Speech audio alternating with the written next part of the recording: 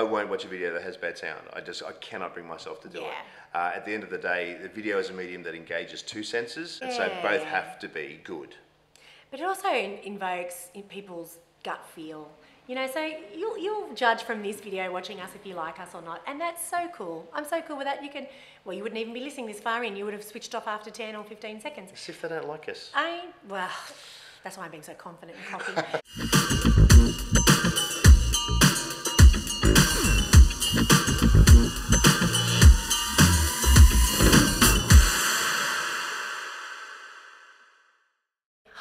welcome to Connected with Melissa J. Scott. Today's guest we have is James Lopes from Arc Shot Media and Heretic Creative Agency, which is our new agency that we have together. More about that later. The reason why I've got James on today is because some of you may actually already know him. He is an extraordinary videographer, cinematographer, but I would even go as far to say he's a bit of a marketer. Yeah, Yeah, you are. That's your point of difference, I think, from most other videographers. Mm. And that's why I got you on today to speak about like everybody knows that they should be using video in their marketing and the way that they um, put their personal brand forward. There's huge stats like 80% of the entire internet these days is video. But what I wanted to talk today about is actually how to create engagement, how to connect better with your audience, how to do that through um, video marketing.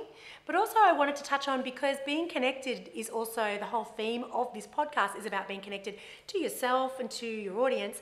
And you've got a really interesting story about how you even started in video, and I think that's worthwhile sharing. you want to start right back at the beginning. Well, yeah, because you do what a lot of people want to do. You've done what a lot of people want to do is they've gotten out of their day-to-day life that they weren't enjoying, and you're now creating your passion and you're following your heart. Hmm. so not, much not so. a lot of people get to do that. People admire you for that, and you bring that with you. You know, you bring all the traits of your past and your careers with you. So I reckon that's a cool place to start. Yeah, no, okay, that's cool. Um, so yeah, I mean, I, for 25 years, I worked in heavy industry, as you know. Uh huh. Um, various jobs around um, a steelworks. I worked in ultimately in a blast furnace, uh, and I ended up being a shift supervisor. I had a crew of 13 guys. Um, it's- What's a blast furnace? Sorry, a blast furnace makes molten iron Yeah. at 1,500 degrees So you're from Wollongong. That's a very Wollongong thing to do. Yeah, not a lot of people in Wollongong work in a blast furnace, but Oh, I thought that steelworks was a big part. Okay, I thought it yeah, was a big it part used to be. culture. Yeah, not so much anymore. I think there's probably around about I think three and a half thousand employees.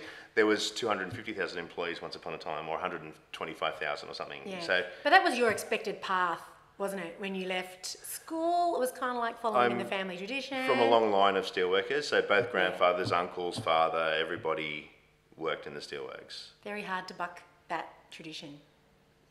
I, I tried, Yeah. but yeah, ended up getting sucked in. And the money, the dollars, I mean, you get sucked Yeah. in by the dollars, you know. Um, Ultimately, I guess you understand that or rationalize that it's, it's not actually all about the dollars, it's about Following being happy and following your dream.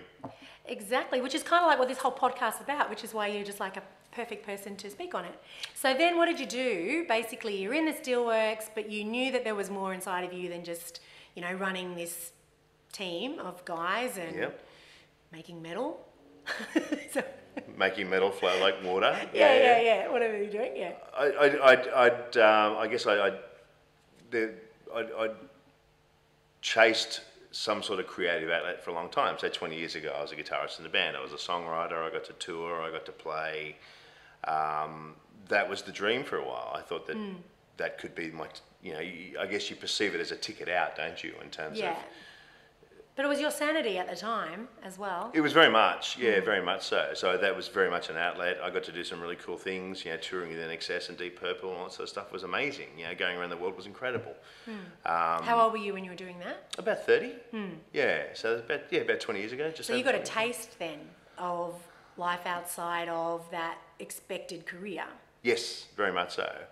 Um, it didn't eventuate, and I guess at the end of it, I walked away comfortably knowing that I'd had a, a red hot crack at it, but it wasn't.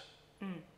Like so many be the people in the music industry, yeah, it's very hard to. It's easy to do it as a hobby and as a, a fun project, but to make an actual career and support a family because you had a family, to do that, it you know you had to marry the two together. What happened after that? Because you can't sort of live that dream life and live that creative passion, I believe, and live that creative passion and then just go back to life as it was. Oh yeah, I, I guess uh, always having that creative bent. Eventually, you start to feel like you're starting to fly apart, sort of thing. And um, it was, I, I guess, it was. I'd received uh, a little bit of uh, advice to su- suggest that maybe I consider jumping on the other side of a camera. And I, I poo-pooed the idea initially because I, I hated cameras. I, I don't just the little cameras, you know, handy cam things yeah, sort of yeah. thing. And This was there was, 15 years ago, maybe, or 10 years ago? I reckon, no, longer, 12 to 15 years ago. Yeah. Um, about 12 years ago, I think. So you started off as a hobbyist. I, I just messed around with this little thing that I had, and and uh, I started playing on Windows Movie Maker, which at the time Windows Yeah. computers just had it as a, a little app that was part of the the operating system. It was incredibly limiting, but it set something off inside me. Yeah. And I started employing children then to kind of just. I just started telling little stories, just writing little scripts and Yeah. doing all sorts of mental things to their school videos and other Oh, you weren't one of those fathers, were you, where they were turning up with the most extraordinary video projects that they'd done? No, no, no, no, no, no. It was just more a case of that trying to turn the home movies into something that people would actually watch rather Yeah. than here's three hours of crap, Yeah, yeah, yeah. you know, and we're all going to sit through and pretend that we're Of enjoying sliding it. images, which I know you hate. Yeah, that's right. Yeah, so it was, it was, um, yeah, it was more a case of just wanting to make them entertaining and interesting. Yeah. And I did. That's and, and cool. people were actually watching it and really enjoying it. And so it went from strength to strength. Due to my musical pedigree, I knew enough Yeah. people in bands and that sort of stuff that I went and filmed a couple of. So I was going to ask, how how does it become a hobby? Because I reckon that's what everyone wants to know. When does the hobby become the like a, a you think this can become a career path? Yeah, oh, look, I, I guess at the time I had enough connections in the music industry. Still, there was a, a guy who owned a series of rehearsal rooms in Wollongong called Arnie Albright, who was Yeah. a sort of friend of friend of mine, um, and I hit him up because he still ran the rehearsal rooms. And I said I had some cards and some flyers. Could I drop them off? I was going to get into video. Uh, he got very excited. It was one of those timely things where uh, he said, "I've actually got a music video I want to shoot myself, and why don't we just do it with you?" And I sort of went, "Okay." Uh, crapped myself because it was a first paid gig, I love the first job. I remember my first job. and I looked at the. it- It's like I, I, you and I are both hard on ourselves with regard to, yeah, we're tough critics. and and that's how you improve. Yeah.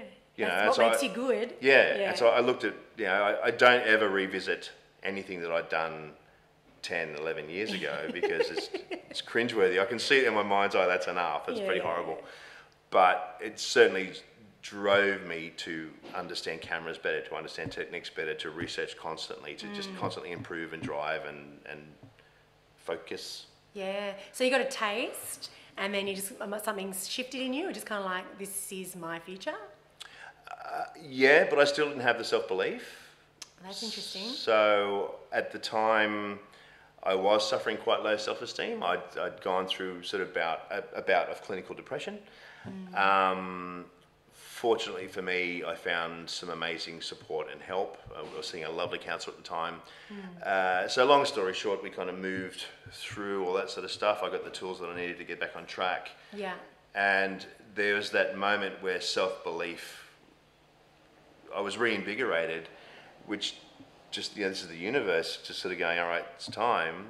And my boss came up to work, uh, came up to my, my shift. uh, I was starting a night shift. My boss came up and he said, all right, I've got letters for voluntary redundancy. And it was an instantaneous, I gave it absolutely no thought. You know, almost 25 years. I was three months short of 25 years uh, in Bluescope Steel. Surely you get a watch or something for that. Mm, You got to wait for three months. If I'd, if I'd hung for three months, I would have got the watch. The watch. Uh, and they asked if I wanted that, and I just sort of went, mm, yeah, I'm not caring too much Yeah. about the watch.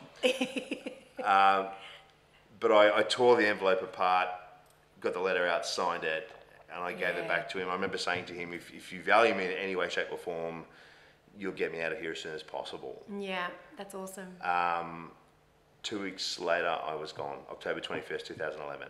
Because you even had, I remember, yeah, well done. I remember you actually telling me a story about when, uh, you, I don't even know how many years you'd been there and they did all these personality tests of all the people working in there and they actually pulled you into the office and had a little chat to you about how you really were. Yeah. Yeah, if you want to tell a little Yeah, bit yeah. So uh, we, we did a Myers Briggs uh, personality test, which you can do online these days, Mm. as you know, because you and I are The same. exactly the same. Funny. Um, So there are 16 different personality types Yeah. to varying degrees. So it's not saying that there's exactly 16 kinds, but if you're extroverted, you're extroverted to some degree, or if you're introverted, you're introverted to some degree. There are 16 personality types Myers Briggs asserts. Uh, what they were looking for is a personality type called an ISTJ, which is someone who follows direction really well, doesn't question a lot of stuff, they follow procedures, they're very diligent, all that sort of stuff. Um, Myers Briggs also asserts that for every personality, there's an opposite personality, Yeah.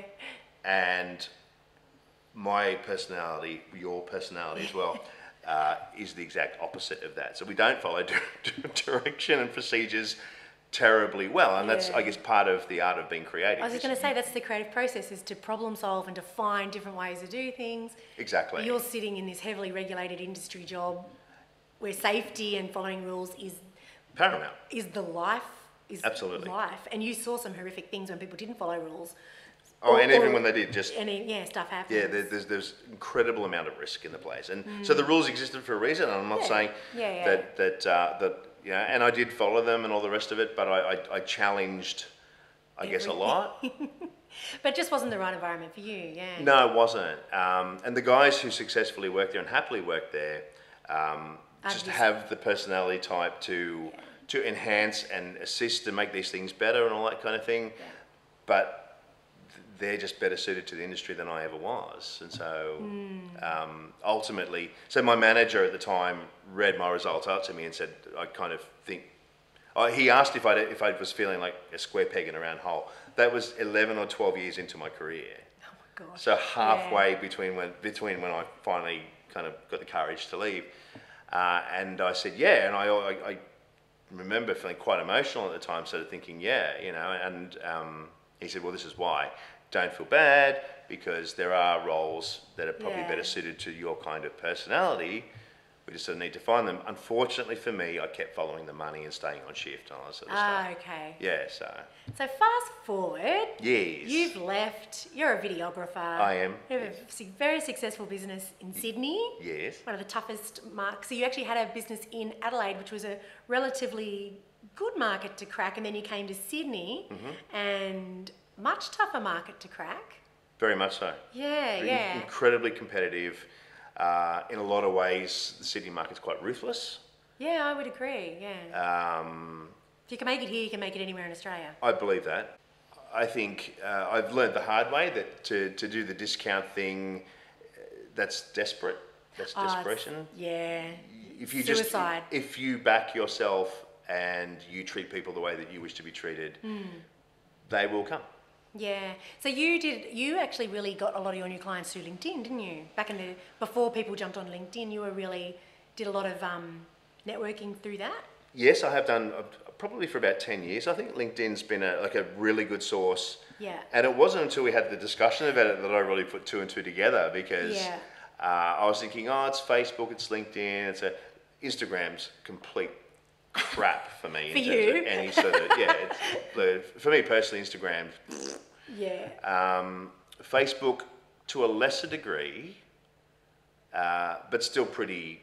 Like pe- people will kick your tires on Facebook, or, but they, they don't From generally sort of follow yeah. through. Generally speaking, in, in my industry, in my experience. But LinkedIn gave me a really good platform in terms of making solid connections and talking with people. Yeah.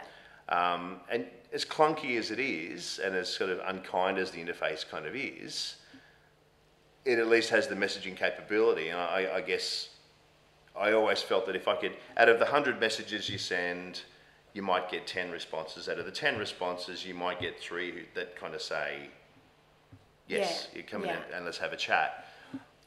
And I, and I just know from experience that if I get those three to say come in and have a chat, and I come in and I meet with them, the very first comment I generally get from people is, Jesus Christ, you're passionate about what you do. Yeah, yeah. So I was going to ask you, what's your secret sauce? Because I know what your points of difference are, but I love asking you that question. love putting you on the spot. I think you should answer it because Well, I struggle a should bit know. with it. Well, everyone should know what their point of difference is because Yeah. Mm. that's all. You, and you talk to clients about this all the time, and that's your point of difference. Is that I said at the beginning, you're like a marketer, so you value add by far more than the average videographer. And I think anybody in business needs to be able to value add to what they do. So Mm. you might be whatever it is that you do, but you need to have more up your sleeve to stand out, to create value, and to you know for people to really choose you. One thing I've always done, rightly or wrongly, is I've never, never, ever, ever looked at what my competition does. I love that. That's such good advice. It's just because you can get caught in an absolute web of self doubt. It's just, it's, well, it's not even that so much. It's more a case of, I, I think you confine yourself and you constrain yourself if you, if you thought, this, this is what my perceived competition's doing, mm. therefore, that's kind of what I probably should be doing as well. And so because I've not ever stumbled across that definition of what anybody else does in my field, yeah. I've managed to evolve my own my own kind of thing. And so when you sort of said to me, you add so much value by Yeah. storyboarding and scripting all that sort of stuff, and do you know how many videographers I know that who don't do that? They just point the camera and click, whereas you'll sit down with a client, Never you'll be consider that. talking about marketing and you'll be talking about their branding, what's their points of difference, questions that they've never been asked before, unless they're dealing with me.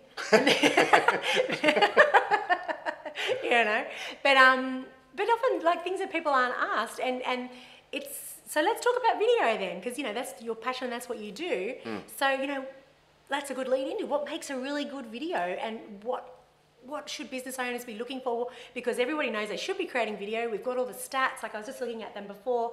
That's why I keep turn- turning to my computer. 78% of people watch videos online every week. 55% watch every day. Yeah. That's crazy numbers. 80% of the internet is dedicated to video. There's some other, hu- 95% of information retained um, when you look at something on a website is through video. Only 10% is, is through words. So Yeah. we're all about connection and impactful storytelling in our agency together. yes, we are. Yeah, so what, you know, what can we tell business owners from a video point of view? What can they do to really stand out and not just make shitty video, Yep. which a ton is out there? Oh, yes, it is. And this is the problem these days: is that is it 300 hours of video is uploaded every minute? Is that yeah, yeah, yeah, that's exactly right. yeah? So so there's so much crap. So much content, and we're all being told to shove content Yeah. out there. But all you're doing is you're just you're just adding to the, the giant hairball. It's just a big disgusting mess. Yeah, yeah, yeah. You don't want to be. You've got to cut through. You have to cut through. Um, so another few statistics which um, which we've discussed at length as well. statistics. Uh, you have 10 seconds to engage. If Mm. you're advertising on YouTube, you've got five seconds to engage because Mm. there's that skip ad that comes up before the video plays. And so if you don't engage at that five seconds, the rest of the video is pointless. Uh, just Mm. don't even bother. So five to 10 seconds, depending on the medium that you're advertising on, you have to hit them with something interesting. So a real pattern interrupt. Absolutely, Yeah. yes. A pattern interrupt.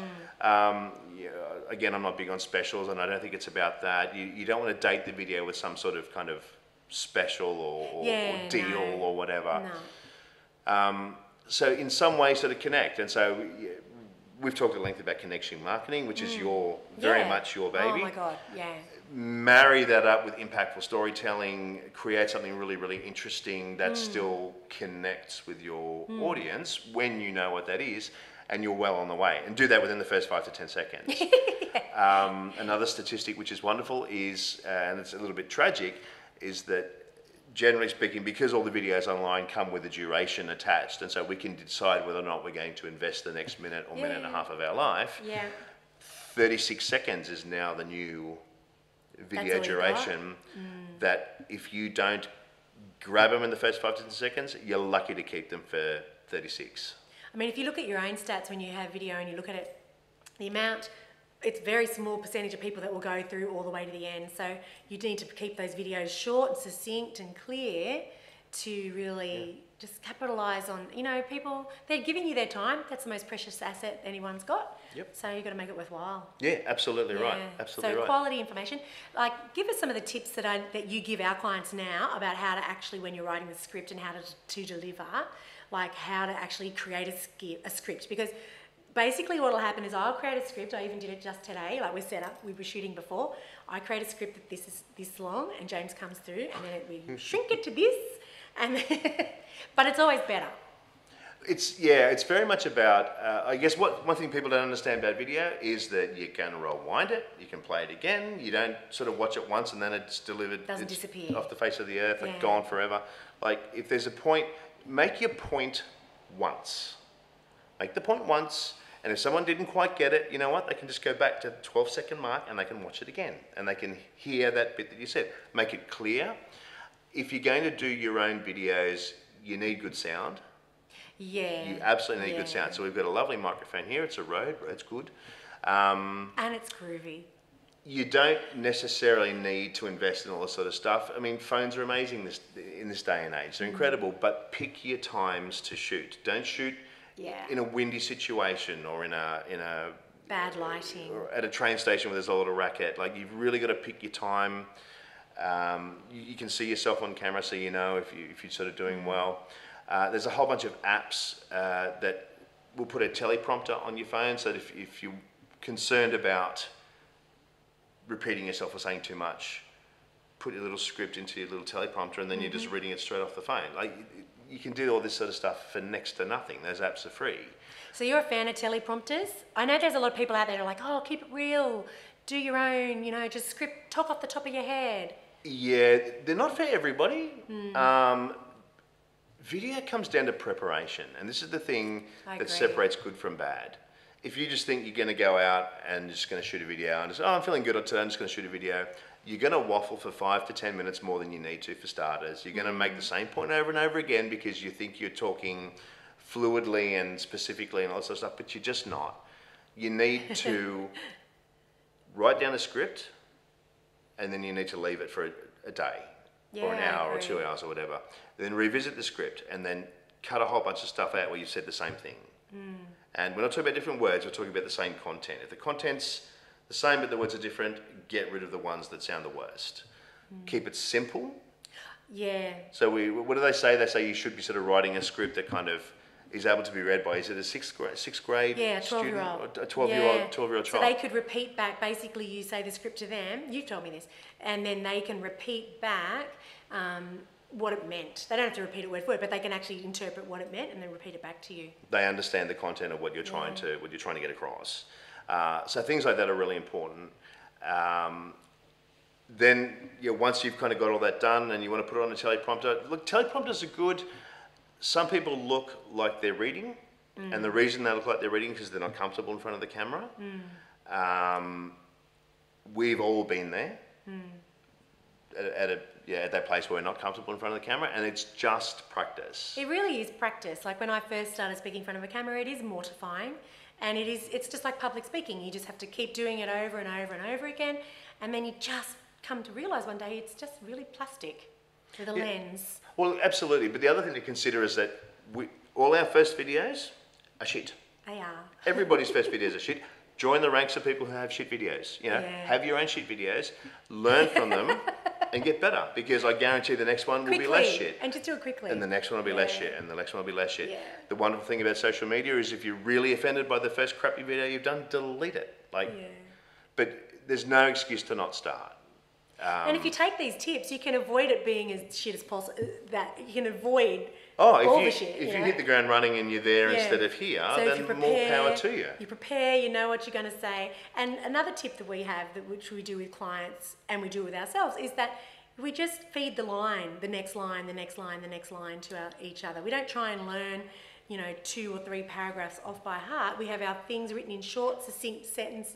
Yeah. what were you going to No, say? no, I'm just thinking a, a professional presenter will will learn two or three paragraphs. you Yeah, know, and that's their. Job. That's their skill. That's not our job, not our task, and particularly Yeah. if we're you're invoking connection marketing. Yeah.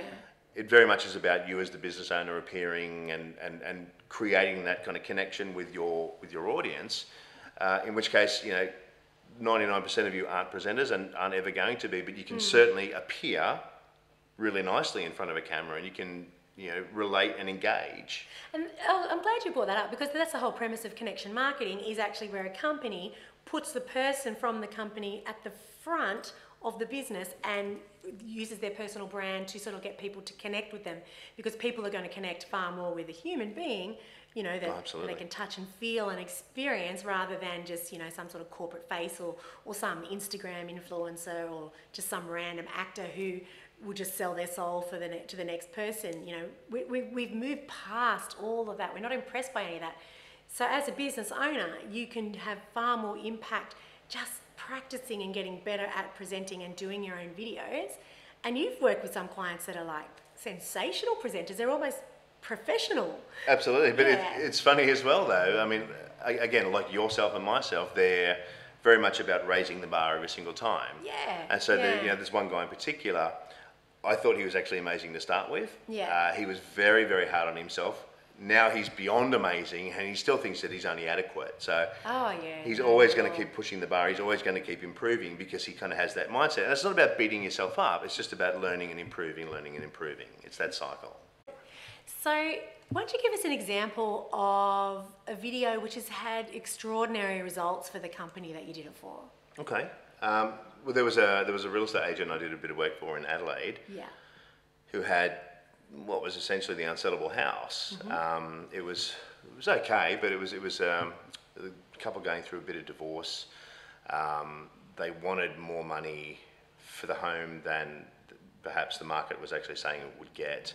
There was some repair work going on at the property as well at the same time. There, there were a lot of challenges, um, and so he, he was giving me carte blanche to come up with something interesting, which is like waving a red rag to a bull. um, and so I wrote. Did he know who he was dealing with He at did. the time? Yeah, yeah, yeah. We'd, we'd, we'd worked a few times already and, and come up with some pretty cool things. Because saying you like just come up with anything like Yeah, that was that was me. Just kind of my eyes rolled back in my head, and I uh, I may have swooned. I'm not sure. yeah, yeah, yeah, probably So I wrote a rap. Um, as you do. which covered off on all the salient features of the house. When I say rap, it was just a rhyming, a simple rhyming poem to a, a drum beat loop. Like it, it really, like I'm not a rap artist. I'm Can you perform it now? Hell no. I, I no, it, was, it was seven or eight years ago. I have I bet no you still remember it. it, it's on YouTube still, as far as I know. I'm looking it up. Um, so we, we I got him round. Uh, we did a line at a time. He's as bad a rapper as I am, but we just you know we weren't being serious. We weren't being artistes. We were just you know, Yeah, you're trying just to trying to have it's a parody, having a bit of fun. yeah. So we, we, we recorded the rap. Um, on the day, he brought in um, a, a girl that he knew. She was dressed sort of skimpily. He was dressed kind of as a rap artist. He took one of my caps and he butchered it. He really cut into it and had it back on backwards and had bling, plastic bling on, all that sort of stuff. Um, and so we, we shot a rap video. Yeah.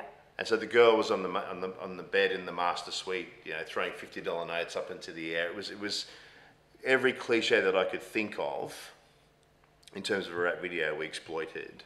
And this is a real estate property video. This was a real estate property video. Okay. How did it go down? Um, within a week, and I'm talking seven or eight years ago, within a week, twenty five thousand hits, which was That's unheard of huge at the time. back then. Absolutely unheard of. Yeah, huge. Um, he copped a lot of hatred online because the rap artists of the world at the time took great offence to what we were doing and, and sort of felt they didn't that get we the were, joke? were taking. Well, they, I I think that they thought we were putting him forward as a rap artist. Like we absolutely were not. Like he, he, he Wow. loves being a real estate agent. He's very good at being a real estate agent. He was just doing something a little bit different. so the hate actually made it go viral, didn't it? The majority of shares I feel were from Yeah. people who hated it and they were sharing it, sort of saying, "Check out these idiots." But they kind of just thing. didn't get the joke. Well, the, prob- the the beautiful thing about, and this is what a lot of people don't understand about virality, is that if you're not getting hatred, it's not going to be viral. I, I know what you're saying because not, it's impossible for everybody to love what you do. It's impossible. So if everybody does love what you do, they're just you're just in your small little circle of lovers, Hmm. and so you're not reaching out and going further afield, are you? It's a really good point that you just bring up because that's what everybody fears. That's exactly right. But the thing is, Yeah. every hater that shares it, guaranteed that amongst their circle, there are going to be some people who love it. yeah, they'll think it's fine. They'll get the joke. They'll see it was no big deal. So continue on. That was So- great. That was a great point. So yeah, so twenty five thousand hits got him and me on today tonight in a really good way. like the, the story was wonderful. So that's helping your business now. It, yeah, absolutely. Yeah. So they wanted to know what made me tick, and to this day we still don't know. It's a little bit scary up there. We don't wanna sometimes. know. We probably don't want to know. Um, and then it got him on Sunrise, so he got nationwide exposure through the Sunrise. So now his breakfast show. personal brand is exploding. Yeah. That's incredible. So what did he sell the property? Sold the property in I think it was three or four weeks for I think it was twenty or thirty grand more than the elevated price that they were asking Wow. So the unsellable property sold. You've gotten exposure and more clients. His personal brand, he's now known all over. He was known all over Adelaide. He ended up leaving the company that he worked for, not because there was any bad, bad blood or anything, but because he was actually able to then go out in business on his own, and Yeah. he did. I believe he's still in business for his. For So he became known as the guy that does the crazy videos and got like a whole fan base of people who then like would use him as a they very much embraced. Yeah. So I would turn up for subsequent shoots with him down the track, like months later, and I, I would hear the vendor saying to him, uh, "I can't wait to see what you do with our property." So I've shot him as Darth Vader. He, he, he you know, we've done some mental, men, crazy, crazy. And this is, I've got to keep saying, this is a real estate agent in Adelaide, not like, you know, some fancy pants city. It's Adelaide. And he's just having fun with it, not Yeah. taking himself seriously, which is the message, isn't it? Yeah, but, but, but very much in a connection way, the things that you talk about with regard to attracting the people to him who understood him and his brand and wanted him and his brand. So a lot of people poo pooed what he did, and that's cool. He wasn't after their business. Well, because now, this is the whole point of connection marketing. Now he's actually got something hmm. that people can connect to, and he's got the point of difference. Like how, when you think about that industry, real estate agents, like this is your age-old problem. How do you make a real estate agent different to another real estate real estate agent? Like you know, they all just say the same and promise the same things. So this guy went out on a limb and actually was, you know, he promised creativity. He promised some extent of virality in his videos because they were interesting to watch. He had a point of difference and he stood for something which was like a real fun element, wasn't it? Yeah, it was very much so. Yeah, so we were talking about that before. Is that authentic or not? Because he's dressing up and playing a character. playing a role, yeah. Yeah. But yeah, I guess you're right. uh, In He's terms of doing it from the heart, he's he's believing in what he's doing. Hmm. He's not hurting anybody. He's not making fun of anybody. not at all, never. Um, yeah. So he's not being a bad soul. People are totally embracing what he's doing. It's totally connection. Yeah, I, I, I saw one of his videos uh, a couple of weeks ago. He's still going strong, and he was Woody from Toy Story. Oh my god! Brilliant. See, that's awesome. brilliant. And like, you Absolutely know, brilliant. and that's what it's all about. So, and that probably leads in really beautifully to what I want to talk about because we come face to face with so many business owners, and you might be one of these people now just going, yeah, well, that's fine for him, you know, whatever reason and story you've concocted in your own mind why it's fine for him and not for you. Now, I'm not going to dress up as any stupid character either, but having said that, we've just finished a, a beautiful creative video that we've shot for Yes. our new agency, which we're about to launch at the time of this video. And that's totally like a fantasy kind of story melded back in. a fractured fairy It's tale. a fractured fairy tale, you know. We got actors to do the bits because you know we're not going to do those, um, and it would have been weird if we did it anyway. It would have been like dress ups, and that's where the authenticity comes in. So we use some actors, but the storyline and the message—it's all about creativity and being different. Yes. We're in the game of selling creativity, so then why shouldn't our video that represents our company and our brand scream creativity? You know, mm. we just want to stand out, and I feel I'm jumping on my little soapbox.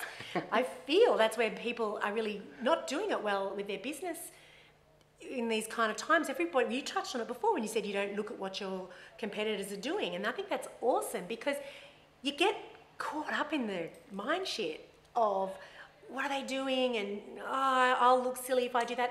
And I used to have massive head trash around what other people were doing because I found they were more articulate, they spoke with bigger words, they used a lot of industry jargon, and then and that stopped me from doing presentations for a long time. Yeah, right. Until I find yeah, I haven't shared that with you. Until I finally started doing presentations.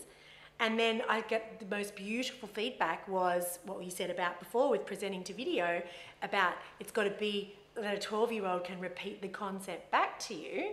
So I was told time and time again, God, you just break it down, you make it so simple for me. I love Mm. that. Thank you very much. That was an absolute Mission accomplished. right? game changer Yeah. for me.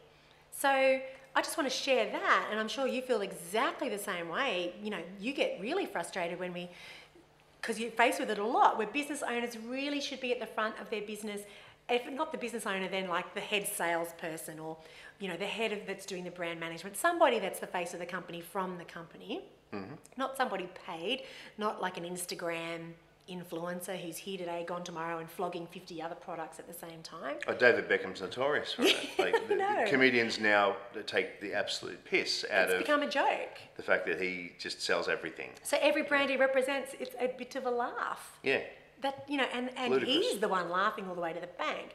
But you know, the integrity behind that is it's really disappointing. So, you know, you don't have to be a superstar, and I guess that's your point, isn't it? Absolutely right. Yeah, far better to hear from someone at the, at the you know in the industry themselves, the CEO, the, Yeah. the business owner, whoever it is. Yeah. Because that's then giving your audience, like the guy in Adelaide, the chance to connect with them, with you. Yeah, the person behind the brand, you know, and also you don't have to deal with then what's happening, you know, if you're using a famous footballer and then all of a sudden they've fallen into disrepute. You know, you don't have to just clean up all of the mess. Well, it's yeah, it's just it, it, it's. I think that that that style of advertising it should be dead. I think it was far more prevalent 20, 30 years ago. Be the- Back in the days when yeah. sex sold as well. Well, you even 10 years ago, you know, it's Yeah, it's really. just it's all changing. It's all shifting, and much. I saw a wonderful ad for uh, I think it was an oat milk company out of Sweden, um, and it was the most bizarre thing I've ever seen in my life. It was just this this uh, oat field. I don't know barley field, whatever oats, barley, whatever, whatever. I don't even know how a oats. are. paddock. But in the middle of this of this field, there's a guy playing this little keyboard, and I can't remember the, the, the concept or the content per se, but this beautiful camera shot moving through the field over the, the oats, barley, whatever, getting closer to this guy, and he's playing to the oats, and it was the CEO of the company. That's gorgeous. And it's kind of like, yeah, at least yeah, that little video put put a fa- he became the face Yeah. of their company Yeah, yeah. um, they've done a whole bunch of other things which have been very confronting to the dairy industry. Um, That's a whole other topic. yeah, yeah.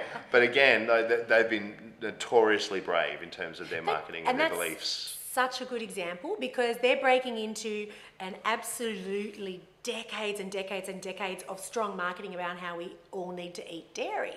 Mm. You know, it's an absolute strong belief. It's um, and we don't even know where it came from. It's just the power of suggestive marketing. And so now they're trying to break through. So they have to do pattern interrupts and they have to do really strong, heartfelt things coming from the CEO because they're just like Yeah. operating on the tiny budgets, I dare say, from the actual dairy industry itself. That's really like innovation and really getting their message home as sincerely as possible to connect to the people that are, you know, at the forefront of the change. It's critical. Oh, absolutely. And, and we've, we've said this a million times in terms of uh, if you've got to fluff a video up with millions of dollars of special effects and all the Ah, rest of it, like it, it, it's stupid. Like at the end of the day, a succinct, earnest, beautiful, clever, original story Yeah. will trump all that crap and cost you next to nothing. Yeah. You know, comparatively. So Yeah. tell your story. Yeah. Tell your story, or get us in to help you tell your story. Like it's it's So, what are your top tips then? Wrapping up, like sort of like the big James's top tips about how to do video really well. Like we were talking about all those huge numbers of videos that get uploaded every every hour, every minute to YouTube. yeah. They're all blending into sort of same same. The giant fur ball. Yeah, so we're not- So running with that. I know it's a good one. It's a good visual. You know, we're not saying everybody has to be stupidly and crazily uh, No. off, you know, off the cuff. Don't shoot videos with your pants off. It's just not necessary. Uh, you- You're trying to get a cheap laugh or something. It's just ludicrous. Okay, t- tip number one: pants on. Pants on. Pants on's good. Tell your story. Tell it succinctly. Yeah. Write your script. Write it again. Share it with the brains trust, people who you trust. Speak it out loud. after you write that script. Speak it out loud because how many times do you write a script and then you kind of read it out loud and it, makes no sense? You know, so- Yeah, we speak so differently to how we write to read. It's it's Yeah. huge. So- I've come to learn that. Yeah, speak it, time it, keep it succinct. Do you want to keep under a minute. We said 36 seconds before, but I, Mm. I think a minute's still fairly safe, provided you hit them in the first 10 seconds. Yeah, with a pattern interrupt. So pat, I, I keep using that. that. That is actually a jargon term. So a pattern interrupt is just something that is kind of like a jolt or a shock or a question um, that just kind of like oh shocks somebody into kind of like listening to you. So I talk about pain points a lot, you know, with marketing. So just really address what the person's pain is, what you know your target audience, and just hit them with it straight up front. Ask the question. You know, is this affecting you? Is this changing your life? You know, really rather than going, "Hi, Melissa and James here," you know, and and First five seconds is gone, like Yeah. gone in no time flat. totally gone. Yeah. Yeah. And also that perspective, you gave me a good tip before about trying to get the word "you" into the first Yeah, ten or fifteen the seconds, if that applies to first sentence or two. Yeah, um, you as in the target audience. Yeah, address your constituency. So to, to address them personally or directly with a you, you know, the word you, the word so they I. feel like they're part of it. Yeah.